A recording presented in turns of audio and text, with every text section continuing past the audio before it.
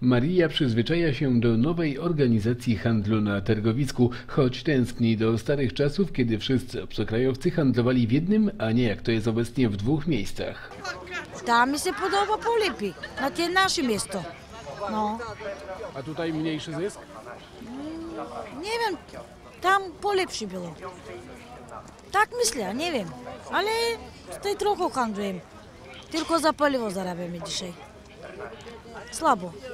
Na targowisku chętnych do kupowania mniej, to też wyraźnie przekłada się na dochody i zadowolenie sprzedających. Wśród polskich kupców powodów do radości brak. Chcieliby, aby w tych trudnych czasach na targowisku panowały uczciwe zasady funkcjonowania. Zarzucają obcokrajowcom, że ci działają nie do końca legalnie. Skierujcie ją tam i zobaczcie ile tam jest ludzi, skierujcie na, nasze, na nasze stoiska, zobaczycie co się u nas dzieje. Kupcy nie kryją niezadowolenia, martwią się, że sytuacja tak zła jeszcze nie była, zwłaszcza teraz, w okresie przedświątecznym. No, moim zdaniem bardzo niekorzystnie. Dlaczego? No, jest, y, większość ludzi idzie tylko właśnie do czarnych, u nas nie ma, u nas jest puste stoły są. Jeszcze tam na rogach gdzieś tam y, ktoś przejdzie, ale tak to nie ma w ogóle ruchu. My stoimy po prostu. A teraz ten okres przedświąteczny, nie widać jakiegoś ruchu większego? Nie, nie, nie, w ogóle. Nie ma w ogóle ludzi. No zresztą widać po stoiskach, że stoiska są po prostu puste. Dyrektor targowisk miejskich Mariusz Kosiarz ze zmian wprowadzonych na targowisku jest zadowolony. Jego zdaniem poprawiły one warunki pracy kupców, choć sam zauważa, że sytuacja pod względem koniunktury nie jest dobra.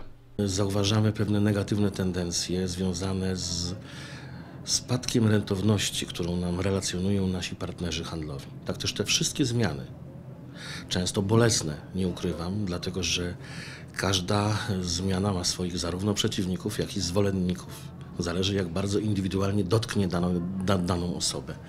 Ma skutkować polepszeniem jakości pracy tego miejsca. Zmiany na targowisku mają jeszcze jeden cel. To, czy uda się go osiągnąć, okaże się dopiero w przyszłym roku.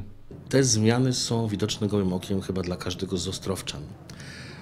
Natomiast celowość tych zmian tak naprawdę ma skutkować, wierzę w to głęboko, przyszłym rokiem handlowym, gdzie te zmiany po zauważeniu zaskutkują również yy, większą ilością ludzi odwiedzających targowisko miejskie i tego byśmy sobie wszyscy najbardziej życzyli. Targowisko miejskie potrzebowało zmian, te już zostały wprowadzone i z pewnością na nich nie koniec.